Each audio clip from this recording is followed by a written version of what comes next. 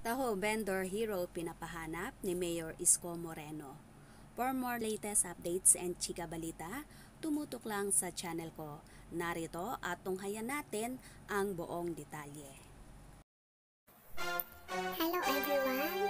Please subscribe, like, share, and hit my notification bell.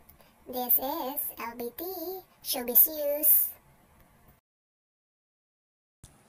Ipinapahanap ngayon ni Mayor Isko Moreno ang isang taho vendor kung saan namigay ng ibinebenta niyang taho sa mga motoristang naghihintay. Namataan ito sa Andres Bonifacio Shrine. Ayon sa post ng Philippine Star, siya ay si Mr. Gimmick Conod from Quezon City. Ani Mr. Gimmy Conod, gusto niyang tumulong sa gobyerno natin kahit sa maliit na pamamaraan. At dahil nga, sa kabutihang loob ni Mr. Taho Bendor, naging trending at umani ng iba't ibang reaksyon ang mga netizens at dito rin ipinost ng Philippine Star kung saan naspatan nila si Mr. Gimmy Conod na namimigay ng libreng taho sa mga motorista kahit pa sabihing namuhunan siya at sa halip na ibenta. Imbis na kumita, bagos ipinamigay niya para makatulong sa gobyerno. Tuwang-tuwa si Mayor Isko sa nabalitaan at pinakita sa kanya ng staff niya. Ani Mayor Isko, ako po, with all honesty, speechless ako eh. Talaga, pinakain niya yung mga naghihintay? May puhunan ba yung taho? Meron eh. Pinamigay niyang libre? Eh di pinamigay niya ang puhunan niya. Anong ipinamigay niya? Kabuhayan niya? Bakit? Gusto niya maging bahagi ng solusyon na suliranin natin sa pandemyang COVID.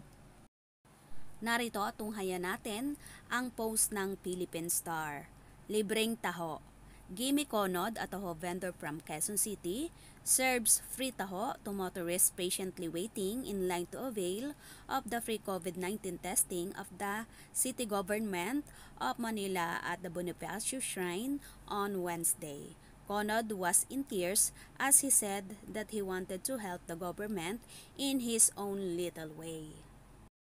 At dahil nga sa kabaitan at kabayanihang ipinakita ni Mr. Gimme Conod, tuwang-tuwa naman si Mayor Isko Moreno at anim mayor sa kanyang mga staff na hanapin si Mr. Gimme Conod.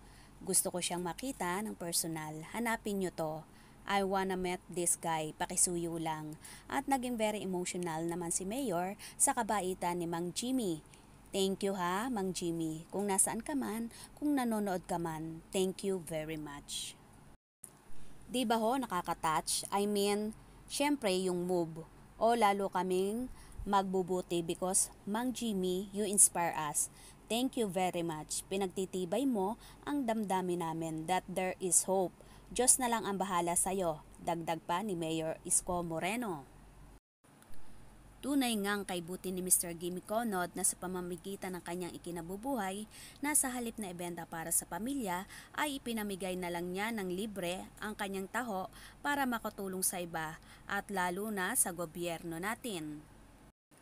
Sana marami pang katulad ni Mr. Gimme na kahit mahirap lang, iniisip pa rin ang kapakanan ng bayan. Mabuhay ka, Mang Gimme. So ayan mga kabarangay, naging proud ba kayo sa pagiging hero at ipinakitang pagmamalasakit ni Mr. Gimme Conod?